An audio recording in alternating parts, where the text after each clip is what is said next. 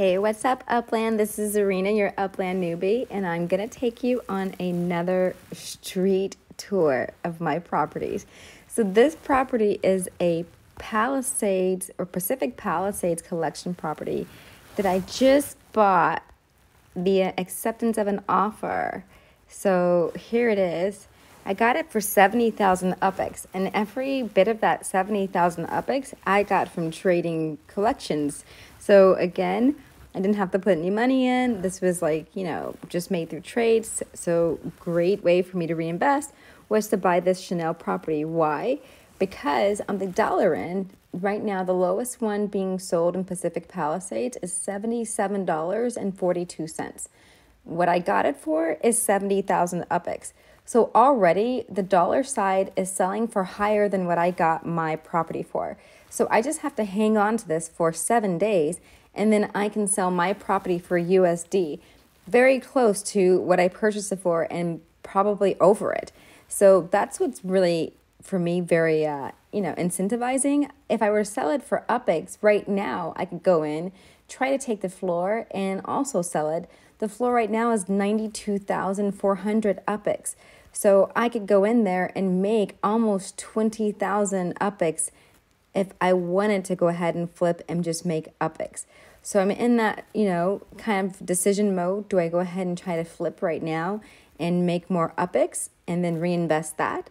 Or do I just go ahead and sit on this and wait for a week and sell it for USD? Maybe you can tell me in the comments what you think I should do. But before we go, let's go ahead and take a street tour. So, not the best view right off, but when we go ahead and take a look, right to the right, that is the ocean right there. That's the Pacific Ocean. And we can go ahead and actually take a tour and get to the beach. So I'm going to go ahead and just take us down there real fast. Well, as fast as I can go via tapping and zoom. And I wanted you all to see what a great view we can get right over there. Look at that.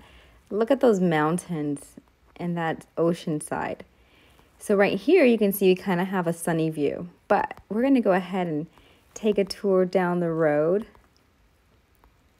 And we're going to see how far we can get just taking a drive, our own little street drive down the road, street walk, street drive. And you can see it starts to get sunnier. And it's like, oh, okay, we can get a little bit sunnier, a little bit cloudy.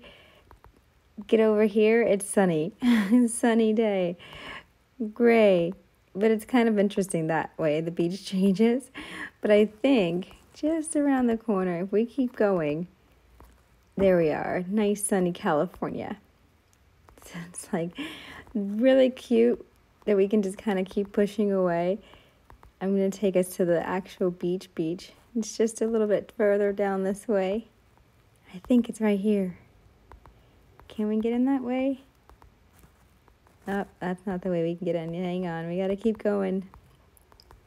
so I kind of love how we can just mosey on down California. Oh, am I missing my street? Oh no. And you know, just it's like it's like you're on a virtual vacation, even though you're not there, you're kind of there. You're like, oh, if you ever recognize any of these spots, if you've been here, here's the beach.